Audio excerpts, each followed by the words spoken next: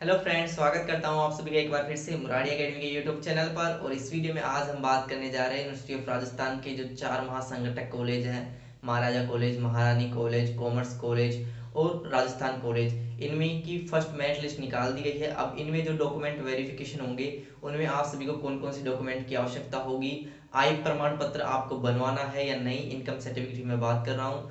और anti ragging form और group insurance form आपको कहाँ से मिलेंगे, कहाँ से आपको डाउनलोड करने हैं, या ई मित्र से मिलेंगे, या कहाँ से आपको लेने हैं तो मैं आप सभी को इस वीडियो में बता दूँगा। इन सभी चीज़ों के बारे में अगर यार आप हमारे यूट्यूब चैनल पर नए हो तो पहले चैनल को सब्सक्राइब कर ले और बेल आइकन को ज़रूर दबा दी, क्योंकि यहाँ मिलेंगे आप सभी को यूनिवर्सिटी ऑफ़ राजस्थान के अंडर में आने वाली इन चारों कॉलेज से रिलेटेड हर प्रकार के अपडेट्स और जो भी क्यूरीज हो, आप हमें कमेंट बॉक्स में बता देना।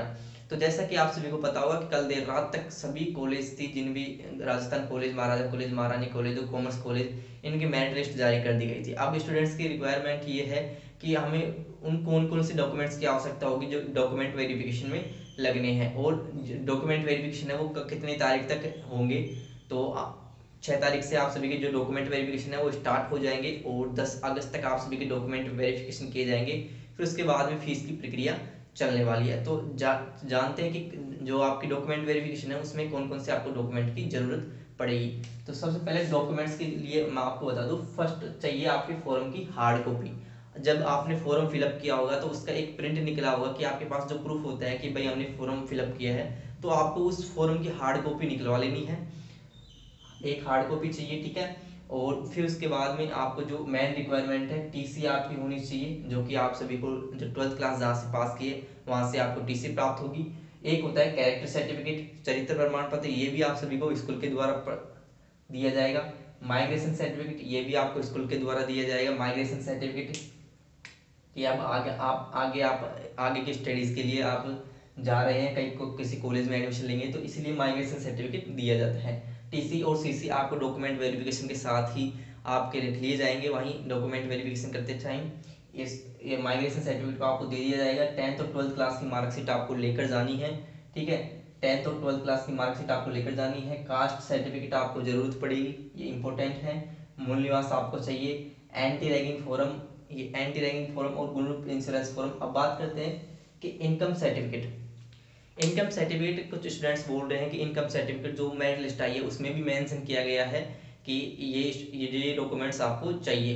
लेकिन कुछ स्टूडेंट्स बोल बोल रहे हैं कि इनकम सर्टिफिकेट चाहिए या नहीं चाहिए तो मैं आपको बता दूँ इनकम सर्टिफिकेट बनवाना आप सभी के लिए बहुत ज़रूरी है। क्योंकि लास्ट ईयर्स भी ऐसा ही हुआ था कि उन्होंने जो ऑफिशियली जो मेरिट लिस्ट आई थी उसमें मेंशन नहीं किया गया था कि इनकम सर्टिफिकेट चाहिए या नहीं चाहिए। लेकिन जब स्टूडेंट्स डॉक्यूमेंट वेरिफिकेशन कराने गए तो वहाँ पर उनसे इनकम सर्टिफिकेट मांगा गया था। तो जब सभी स्टूडेंट्स में आप सभी से यही रिक्वेस्ट करता हूँ तो सबसे पहले इनकम सर्टिफिकेट अपना बनवा ले।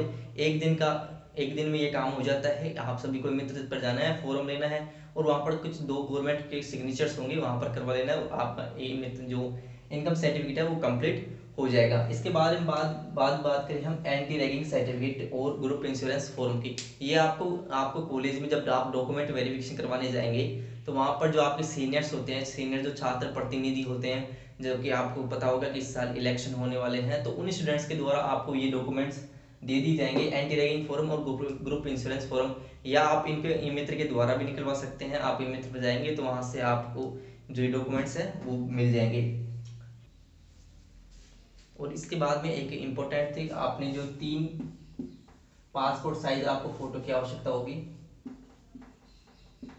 फ़ोटोज़ आपको लेकर जानी है फोर तीन पासपोर्ट साइज़ या इससे भी ज़्यादा आप लेकर जा सकते हैं। ये दो तो आपके फॉर्म के साथ चिपका दी जाएगी और आपको पासपोर्ट साइज़ फ़ोटो ज़रूर लेके जानी है।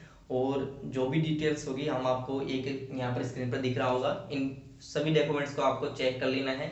जो डॉक्यूमेंट्स नहीं है उन डॉक्यूमेंट्स की जगह आपको क्या करना है, मैं आपको बता देता हूँ। जो डॉक्यूमेंट्स आपके पास नहीं है, मान लो आपके पास टेंथ क्लास की मार्कशीट नहीं है ट्वेल्थ क्लास की मार्कशीट नहीं है, या आपका इनकम सर्टिफिकेट अभी तैयार नहीं हुआ है तो आप इनकी जगह एक अंडरटेकिंग का फॉर्म आता है, जो भी आपको जो कॉलेज आए, जाए आप डॉक्यूमेंट वेरिफिकेशन कराने, वहाँ पर स्टूडेंट्स के द्वारा दे दिया जाएगा आपको अंडरटेकिंग का फॉर्म उस फॉर्म को लगाने पर, उस फॉर्म को लगाने के बाद में आप सभी को पंद्रह दिन का टाइम दिया जाएगा, जो भी डॉक्यूमेंट्स रह गए हैं, उसे आपको बनवाने का। पंद्रह दिन का टाइम दिया जाएगा, उसके अंतर्गत आपको वो डॉक्यूमेंट्स बनवाना होगा और कॉलेज में वापस जमा कराना होगा। तो पंद्रह दिन की मोहलत आपको दी जा सकती है, ठीक है? तो और तो ये सभी डॉक्यूमेंट्स आपको बनवा लेने हैं और जो स्क्रीन पर दिख रहे हैं आपके, ये डॉक्यूमेंट्स आप सभी को तैयार कर लेने हैं, ठीक है? तो ये थी आप सभी के लिए एक बड़ी इन्फॉर्मेशन नेक्स्ट वीडियोज़ में हम बात करेंगे सेकेंड मेरिट लिस्ट को लेकर स्टूडेंट्स के क्या क्या जो क्वेश्चन आ रहे हैं, उन सभी का डाउट सोल्व किए जाएँगे। तो चैनल को सब्सक्राइब कर लीजिएगा और बेल आइकन को ज़रूर दबा दीजिए क्योंकि यहाँ मिलेंगे आप सभी को यूनिवर्सिटी ऑफ़ राजस्थान से रिलेटेड हर प्रकार की अपडेट्स धन्यवाद।